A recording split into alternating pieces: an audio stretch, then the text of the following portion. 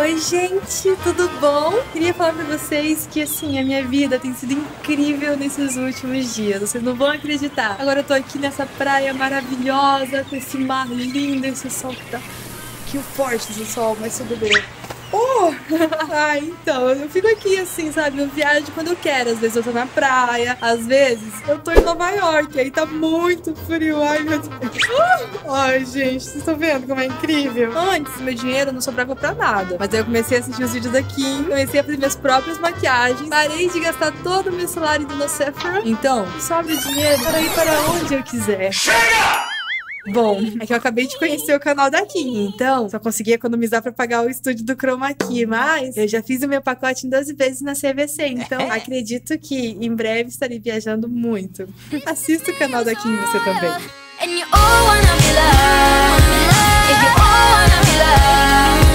Ai,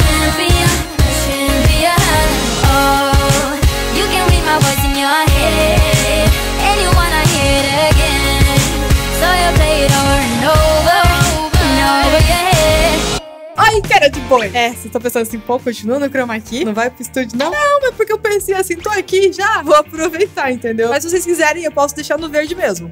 Realmente, concordo muito com o que ela falou. É isso mesmo, gente. A gente não, não faz as contas no papel enquanto a gente gasta com maquiagem. Ou. O quanto a gente quer maquiagem e não tem dinheiro pra gastar, que é pior ainda, né? Por isso, o vídeo de kit maquiagem é tão legal e por isso que eu tenho tantos vídeos de kit maquiagem. Então, se você quer aprender a fazer as suas próprias maquiagens, assistir esse vídeo, dá joinha nele, se inscreve no canal se você acabou de chegar aqui e vai pros outros vídeos também, que você vai conseguir montar tudo que você imaginar de maquiagem em casa e sem gastar nada. Ah, calma, calma, calma, para tudo, né? Você tá sabendo da minha peça de teatro. O concurso dos sonhos tá muito legal, gente. E já tem data. Então, se você é do Rio de Janeiro, a gente vai ser no dia 19 e 18 de agosto no Teatro das Artes. No dia 25 e 26 em São Paulo. No dia 1 de setembro em Belo Horizonte. E no dia 15 e 16 em Salvador. Também tem data para Maceió aqui também e para Fortaleza. Então, se você é um desses lugares, não deixe pra última hora. Já garante seu ingresso, porque eu vou estar tá lá. E no final eu vou tirar uma foto, vou dar um abraço em todo mundo que for. E ficar mais pertinho de mim. Olá! Oi, tudo bom? Oi, eu já dei oi antes, então porque eu tô dando oi de novo. É uma coisa que eu não sei, porque eu acabei de acordar, então eu estou dormindo um pouquinho, mas tudo bem. Então, eu vou começar a fazer uns corantes, porque eu quero atingir algumas coisinhas para fazer umas maquiagens aí, tipo sombra. E eu fiz já vários tipos de sombras coloridas aqui para vocês, usando corante, usando outros tipos de sombra, misturando com outro tipo de sombra para criar outro tipo de sombra. E agora eu pensei, não, eu quero fazer uma sombra de olho que não use tinta nenhuma, que use só produtos que você vai fazer em casa mesmo. Então eu peguei crepom, é o melhor jeito da gente fazer tinta, uh, uh, uh, com crepom. Então eu botei ali eles amassadinhos dentro de um copo, botei bastante crepom, e aí eu botei ali como se fosse umas três tampinhas de álcool. Apenas três tampinhas de álcool, porque eu não quero que fique assim muito, porque quanto mais forte, mais pigmentado ficar essa tinta, melhor. Tem que ser álcool porque o álcool vai tirar toda a tinta, entendeu? Se você colocar água, por exemplo, não vai sair tudo, vai ficar fraco. Aí no vídeo não dá pra ver, mas eu deixei assim por uns 15 minutos, ele reagindo e ele soltando bem a tinta. E o que sobrou foi um finalzinho ali, ó, de uma tinta bem forte. Eu fiz azul e vermelho pra mostrar pra vocês, mas depois eu acabei fazendo outras cores também. E aí eu vou botar num potinho, em cima desse potinho eu vou colocar um pouquinho de maisena. E vou mexendo. Se você quiser, você pode fazer também com talco, funciona super. E aí eu não vou deixar ele muito forte, não vou deixar ele muito líquido, entendeu? Eu vou colocando aos poucos pra ele ficar essa massinha aí, ó, que você consegue controlar. Aí eu botei um pouquinho mais de corante e mexi mais um pouco, até ele ficar um creme, entendeu? Vai ficar um cremezinho. E aí é só você colocar o seu creme colorido dentro do potinho que você vai usar a sua sombra. Eu peguei esse redondinho aí, bonitinho, e botei a quantidade que eu consegui ali dentro e deixei no cantinho para secar. E eu fiz a mesma coisa com as outras cores também. E aí, não repare na minha unha não, gente, porque mexer com isso é complicado. Minha dica para vocês é usem luva. Mas eu peguei um guardanapinho ali, coloquei em cima e dei uma apertadinha para ele absorver toda a água, todo o excesso de líquido, álcool, na verdade, né? Então, quando você encostar, ele já vai, tipo, começar a subir a cor. Eu acho tão bonitinho. Então, você vai fazer isso algumas vezes, na verdade. Uma só não vai ser o suficiente, vai tirar só o excesso. A segunda também não vai ser o suficiente. A terceira, quando você vê que você tá colocando no guardanapo e não tá saindo mais tanta água no guardanapo, deixa no cantinho e espera secar. Olha ali, eu fiz um verdinho também pra ficar bem bonitinho. E eu deixei ele secando um dia inteiro. Então, eu deixei, tipo, passar a noite, virar o dia inteiro e pronto. Aí você já pode usar a sua sombra. Ou você pode usar ela líquida assim também.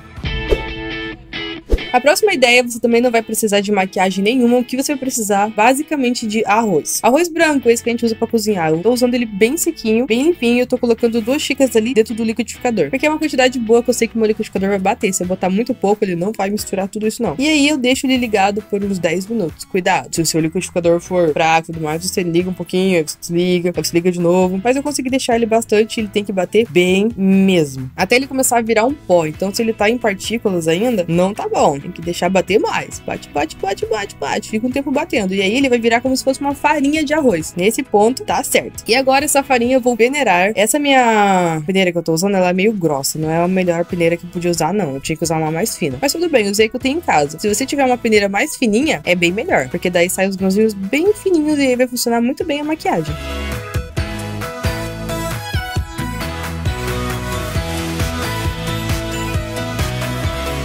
Temos a nossa farinha bonitinha ali, olha só que neném. E praticamente está pronto. Na verdade, está pronto. Está pronto, oh meu Deus, está pronto. É! Não, não, não, não tá pronto não, tá pronto não. Eu coloquei um pouquinho de maisena ali pra deixar umas partículas um pouquinho mais finas. Misturei os dois bonitinho. A maisena que eu coloquei é bem pouquinho, gente. Uma colher, duas colheres no máximo, até virar uma farinha mesmo. E aí eu vou pegar um potinho, que eu tinha um pó translúcido já e ele acabou. Vou usar o mesmo potinho, vou abrir ali, colocar o pó dentro. Aproveitei e misturei. Na verdade, quando eu abri, eu vi que não tinha acabado meu pó translúcido e falei, eba, vamos misturar tudo. Então ali tem pó de arroz, maisena e ainda um restinho do meu pó translúcido, melhor ainda. Eu misturo tudo pra ficar bem igualzinho e pronto, você pode usar na pele. E o mais legal é que ele vai ajudar muito o seu rosto, entendeu? Então ele tem muitos nutrientes e etc que vão deixar o seu rosto assim com uma aparência muito bonita. Então não é só uma coisa legal para você passar para não deixar a pele oleosa, é uma coisa que vai dar uma ajuda também bem legal.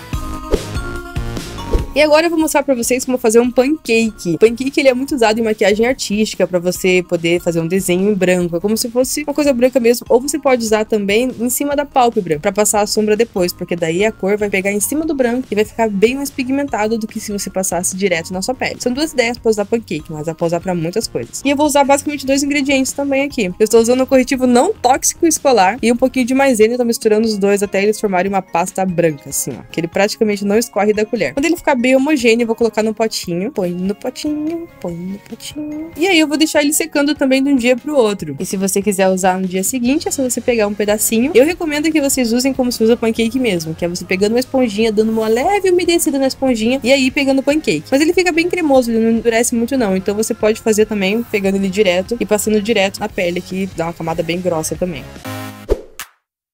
E agora eu vou misturar algumas sombras de cor marrom, vários tons de marrom, um batom de cor marrom, olha só, vou colocar um pedacinho dele ali. Pedacinho não, vou dar só uma raspadinha ali pra pegar um tanto sem estragar o batom, então não se preocupe, você vai continuar usando seu batom. Também vou pegar ali um pouquinho de batom líquido marrom, por que não, né? Tô misturando várias coisas assim, né? Então eu vou pegar tudo que eu tenho de marrom na minha casa e vou botar ali dentro. Não necessariamente tudo, tá, gente? Um pouquinho de maisena, né, que não nos abandona. Vocês perceberam que maisena está em todos os, os itens de hoje, obrigado. Nem é da maisena que eu tô usando, nem é publicidade. Então eu vou falar amido de milho. Eu não consigo, amido de milho é muito comprido. Mas enfim, vou misturar e misturar e misturar tudo. Ele vai começar a formar umas pelotinhas. E uma coisa assim inacreditável que aconteceu, que eu imagino que seja por causa do batom, não sei. Ele começou a ficar meio rosa. Aí eu fiquei, mas ué. Aí eu coloquei um pouquinho mais de maisena. E aí, quando eu fui quebrando as partículas e apertando bem, ele voltou a ficar marrom. Aí eu fiquei, então tá bom. Então eu fui macetando, ele começou a ficar rosa, depois ficou marrom, ficou marrom exatamente no tom de marrom que eu queria que ficasse, então eu fiquei muito feliz. Mas eu achei bem legal também ele ter essa nuance de rosa, porque eu acho que na hora que for passar no rosto ele vai pegar esse rosa também. Ficou um tom muito legal de corretivo, sério, gente. Corretivo não, né? De bronzer, que é isso que eu tô fazendo. E eu vou pegar uma colherada disso daí, vou botar dentro de um potinho, olha, não parece um sorvete? vontade de comer esse daí, mas não pode, gente, não pode. Coloco dentro do potinho, dou uma espalhadinha e aí eu vou esperar secar também. Mesma coisa. Tudo que eu fiz aí eu deixei de um dia pra testar só no outro dia. E mesma coisa que eu fiz lá no início, eu tirei o excesso de álcool. E o engraçado é que ele ficou marrom, vocês viram, mas quando você coloca o guardanapo pra sugar o álcool, a cor do guardanapo sai rosa. Achei chocantíssimo. Mas beleza. E olha só, deixei secar e ele fica assim bem suave, bem bonitinho. Ele não pegou direito na minha mão, porque minha mão tá sem maquiagem nenhuma, mas quando você tem a base e tudo mais, ele fica bem forte. Achei a cor maravilhosa. Agora eu vou fazer um delineador usando uma canetinha, então um delineador em caneta pra galera que tem dificuldade em fazer delineados. Eu peguei uma canetinha não tóxica, que já acabou, na verdade, ela tá bem sequinha, e aí a primeira coisa que eu vou fazer, aí você vai olhar como é que funciona a sua canetinha pra você fazer do melhor jeito com ela. A minha, por exemplo, só sai assim. Então primeiro eu tirei a pontinha, que eu fiquei tipo, caraca, mano, que pontinha é essa? Meu Deus, 3km de pontinha, nunca mais parou de sair, né? Mas beleza. Tirei a pontinha e botei dentro de um potinho, e nesse potinho eu vou botar uma tampinha de álcool. Isso pra quê? Pra gente tirar todo, todo, toda a tinta que ainda tem ali dentro. Então, a hora que você colocar, a tinta vai começar a ficar meio coloridinha. Deixa ali no canto por uns 20 minutos e vamos fazer o nosso delineador. Pro delineador eu usei base líquida, que ela vai fixar bem a cor no olho. Usei algumas gotinhas de soro fisiológico e usei também corante alimentar. Pra dar uma consistência, assim, um, um como é que fala? Alguma coisa legal. eu tô usando também sombra preta. E aí eu estou misturando tudo lá dentro do meu potinho. Ele não pode ficar muito duro, viu, gente? Tem que ficar líquido, tá? Então, se você achar que ficou muito, muito duro, você coloca um pouquinho mais de soro fisiológico. E aí vai do seu trabalho de mexer, mexer, mexer, mexer, mexer, mexer, mexer, mexer, mexer, mexer infinitamente. Se você tiver um daqueles negócios que você consegue chacoalhar assim, é melhor ainda. Mas eu fui lá, na Santa Paz do Senhor Jesus, e fui mexendo ali. E aí, conforme você vai mexendo, você vai vendo também se precisa colocar mais soro fisiológico, mais sombra, mais corante preto, e você vai fazendo a sua própria mistura de acordo com o que o seu olho está lhe dizendo. Beleza, terminei, ficou bem pretinho ali, vocês viram, né? E aí eu vou pegar duas coisas. Vou pegar primeiro a minha seringa, depois eu vou pegar a minha ponta que eu deixei lá de molho no álcool. E é claro que ela não vai entrar de volta assim tão fácil dentro de uma seringa, né? Então eu tive que cortar e aproveitei para deixar a ponta bem fina também para conseguir fazer um traço bem fininho. Um trabalho que fui fazendo assim com estilete. Se você for criança, não faça ou peça ajuda de um adulto para fazer, porque é bem perigoso. É um trabalho assim bem minucioso que você tem que fazer com estilete que pode muito fácil se machucar. Beleza, abri a seringa, coloquei todo o meu delineador ali dentro e fui apertando. Conforme eu fui apertando, ele foi descendo para a nossa esponjinha ali, ó. Tá vendo ele descendinho? O primeiro momento assim dele chegar até a ponta lá é o mais difícil assim, ele vai você vai precisar fazer um pouquinho mais de esforço, mas depois que ele já chegou, parece que ele aprende o caminho da coisa, entendeu? Então ele vai bem mais fácil. E aí pronto, você tem um delineador em caneta de seringa muito estiloso, e você consegue fazer traços grossos e traços finos. Um beijo, tchau!